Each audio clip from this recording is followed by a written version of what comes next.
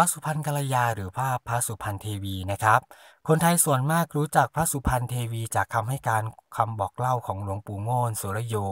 ที่ได้ถ่ายทอดนะครับ แล้วก็เผยแพร่โดยการเขียนเป็นหนังสือ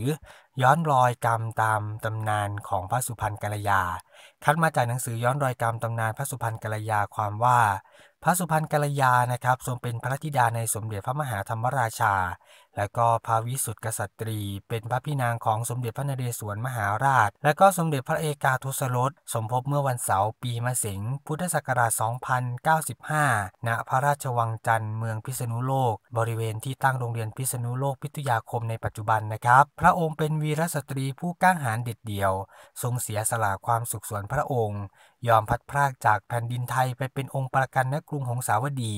พื่อแลกกับองค์สมเด็จพระนเรศวรมหาราช และก็สมเด็จพระเอกาทศรส ต่อมาก็ได้ทรงสิ้นพระชนชีพในแผ่นดินพม่า อย่างไร้พิธีอันสมพระเกียรติยศ ความเสียสละอันใหญ่หลวงของพระองค์ในครั้งนั้น เป็นผลทำให้สมเด็จพระนเรศวรมหาราชทรงกลับมากอบกู้เอกราชของชาติไทยได้สำเร็จวิรกรรมดังกล่าวของพระสุพรรณกัลยา จึงสมควรได้รับการเทิดพระเกียรติให้แพร่หลาย อย่างยิ่งสืบขึ้นไป ตลอดกาลนาน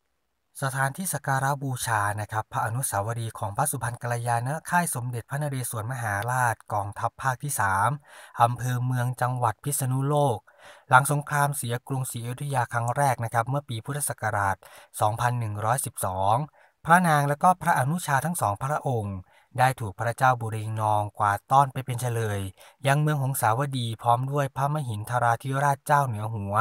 แต่พระมหินทราธิราชเสด็จสวรรคตที่เมืองอังวะเสียก่อน พม่าจึงแต่งตั้งให้พระมหาธรรมราชาขึ้นครองกรุงศรีอยุธยา ในขณะที่โอรสและก็ธิดายังเป็นเฉลยอยู่ เพื่อเป็นองค์ประกันปกป้องป้องกัน การคิดทรยศของฝ่ายไทยทั้งสามพี่น้องนะครับอยู่ที่หงสาวดีถึง 6 ปี จึงได้กลับมา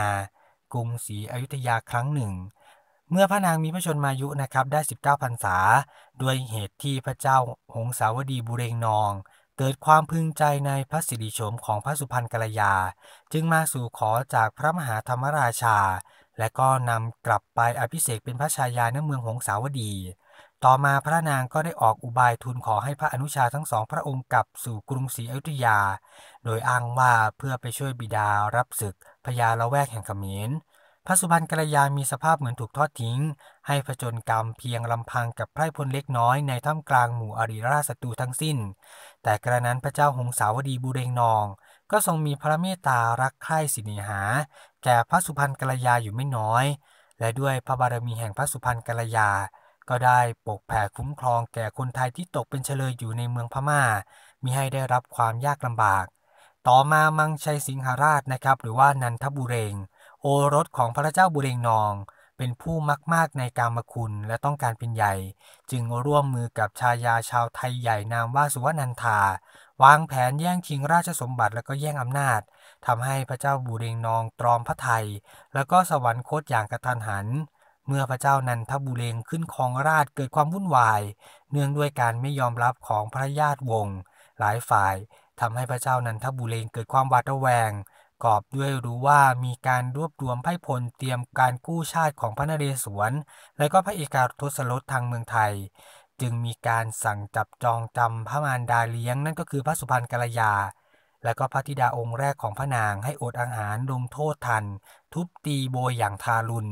ในขณะที่พระนางก็ทรงคัน 8 เดือนจนพระธิดาสิ้นพระชน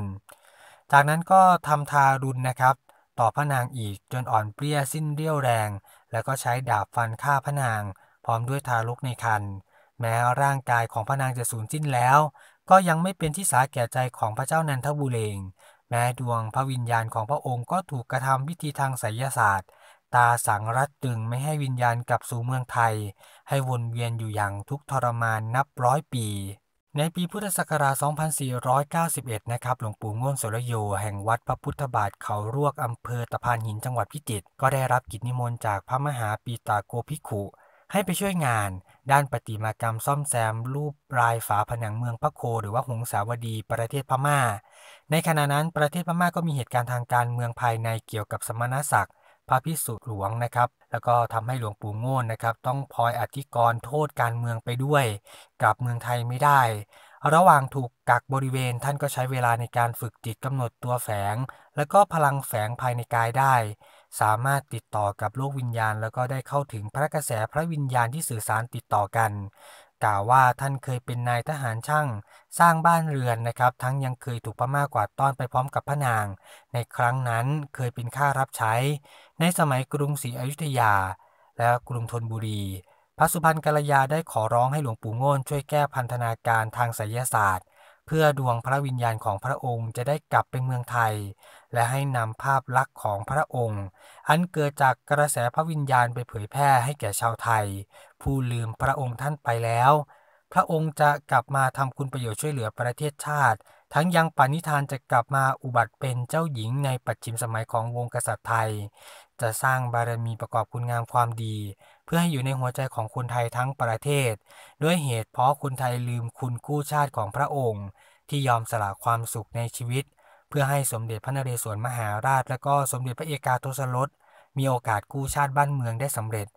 ด้วยเหตุผลดังกล่าวนะครับ ข้างต้นหลวงปู่ง่วนสุรโยและก็ท่านพลโทถนอมวัชรพุทธ แม่ทัพกองทัพภาคที่ 3 ก็ได้ร่วมมือกันสร้างพระอนุสาวรีย์ของพระสุพรรณกัลยา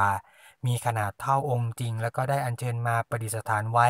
ณ ริมฝั่งแม่น้ำน่านในบริเวณค่ายสมเด็จพระนเรศวรมหาราช ใกล้กับพระบรมราชานุสาวรีย์พระอนุชาทั้งสองพระองค์ โดยได้นำส่วนของสรีระเช่น กระดูกฟันและก็เครื่องประดับ ของมีค่าบางอย่าง ที่ขุดค้นได้จากแหล่งฝังประสบของพระนางนำมาบรรจุในพระอุระของพระรูปด้วย